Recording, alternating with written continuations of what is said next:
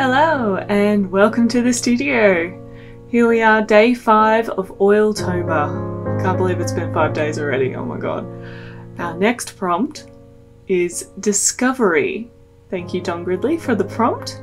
This one was really.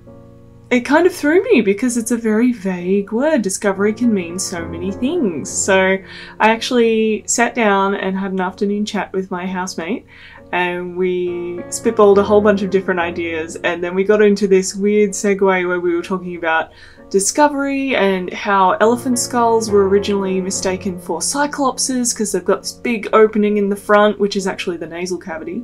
Um, and then we were talking about other skulls and how oh yes like t-rex skulls and dinosaur skulls were the basis for the belief of dragons. And the second we started getting into skulls, I'm like, I'm painting a skull. I love skulls. Skulls are one of my go to still life painting subjects when I don't know what I want to paint. And they're definitely something that's very intriguing because they've got organic form, everything has different shapes, different turns. And because most skulls are a fairly neutral colour, like they're white or pale bone sort of colour, yeah, they capture the light beautifully and they allow you to really sort of analyse shadows and reflections.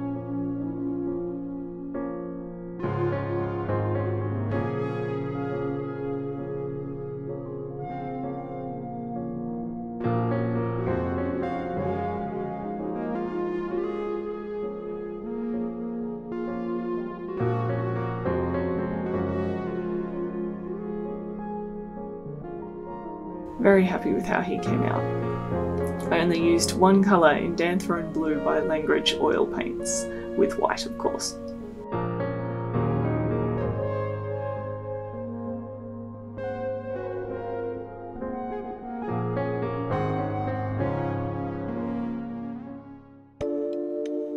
And day 6. Remember how it was beautiful and sunny in the last video?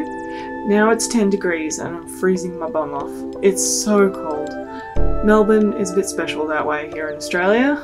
Every different kind of weather three times a day. Our next prompt is Just Survive.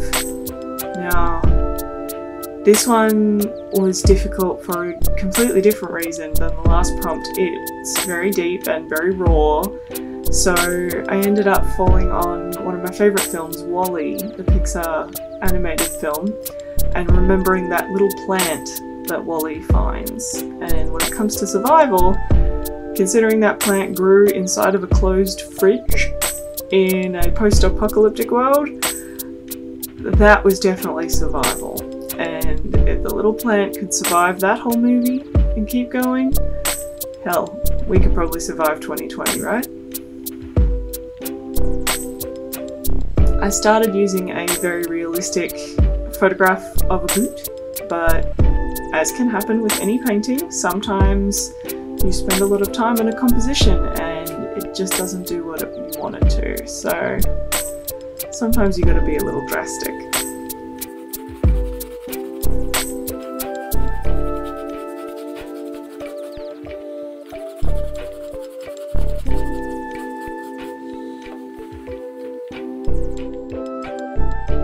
The main thing is that you don't lose hope because shaking things up, turning things around physically, can sometimes really show you what a better outcome could be.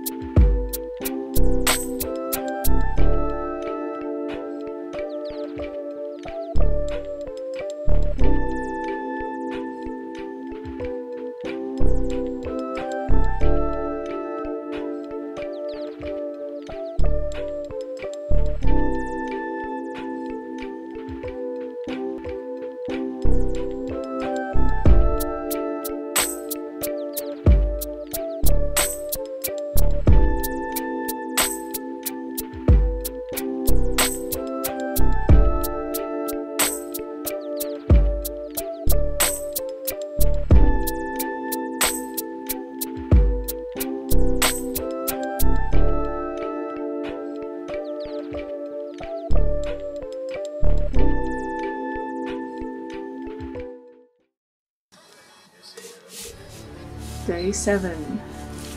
Now today I'm taking my prompts and all my painting stuff on the road. Um, I'm actually going to be spending the night at my sister's house. So to give you a little bit of background, in COVID-19 times here in Melbourne, Australia, we're currently on stage 4 lockdown with, I think, sort of edits. One of those edits is if you're single, you're allowed to nominate one person to be your bubble buddy and be able to come over and socialise. So I am my sister's bubble buddy.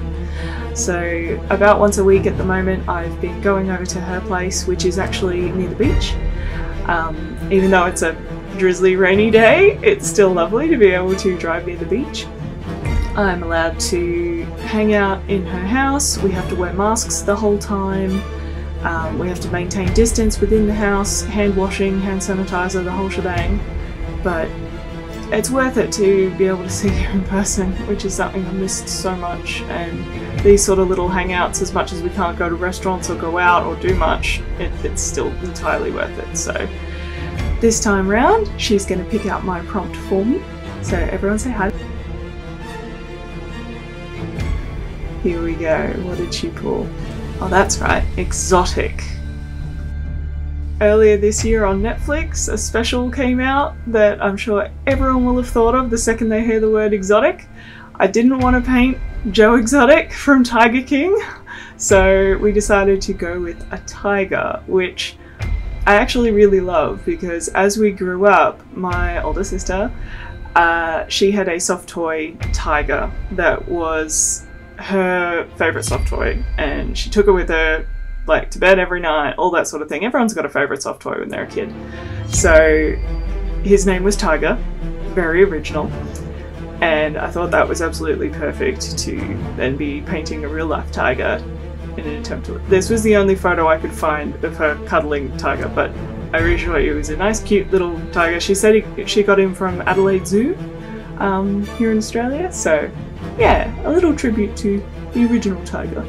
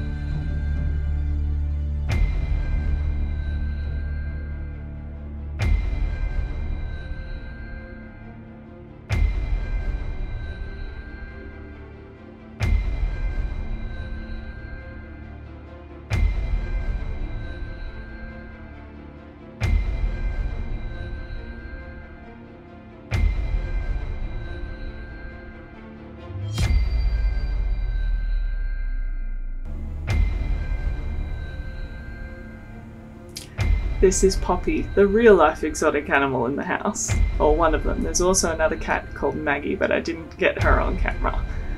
So yeah, Poppy was a good little studio buddy sitting behind me.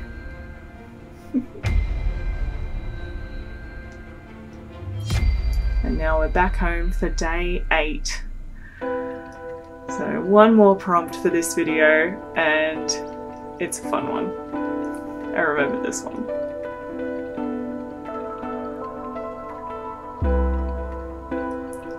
Prompt is wine. Thank you, Heather. Heather submitted a lot of prompts, so I had to print them off a number of times, so that's why the other words are scratched out, so they're in separately in the bucket. Okay, wine. So, yes, I am a wine drinker, and my idea was one of my favourite bottles. It's a bone dry rosé available here in Australia and I haven't had it lately but I do feel like it and I remember I particularly like the label because the label has a deer skull on it um, which is stunning. And now since I had the idea I researched it. They actually do a sparkling as well so I'm too, super intrigued by that one but that one had a cow skull so I thought I'd stick with the deer skull because it's a little bit longer, a little bit more elegant, and I actually love that the background of the label on the bottle was this dark navy colour with flecks of gold. So this piece of paper is actually the darkest tone I have in the dodgy paper, and it's got the little flecks of gold and copper, so yeah, I wanted to sort of bring a different version of the inspired artwork from the label together.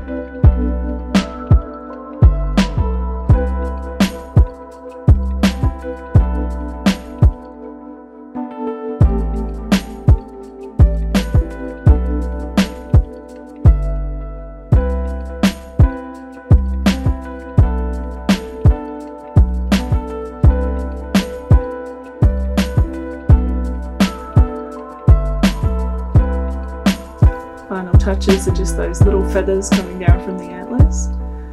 This one was quite involved, I'll be honest, but I had a lot of fun with it. Definitely my vibe. Also, after looking at this for a couple of hours, enjoying it, I may have bought some wine. So thank you Blue Pyrenees Estate.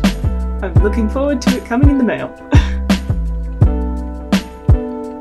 Thank you so much for joining me for this next batch of Inktober paintings. I can't believe we're already eight days in. It's gone so fast, but we've still got heaps more to go and I'm really, really happy with the works that are coming out. These are fast, sketchy paintings, but they're refreshing and they're all different subject matter and they really make me think on my feet. So thank you so much. Please hit subscribe so you can keep up with the project. And yes, all the pieces will be for sale on October the 31st. So scroll down and sign up to my mailing list to be the first to find out when they're going on sale. Thank you so much. Bye.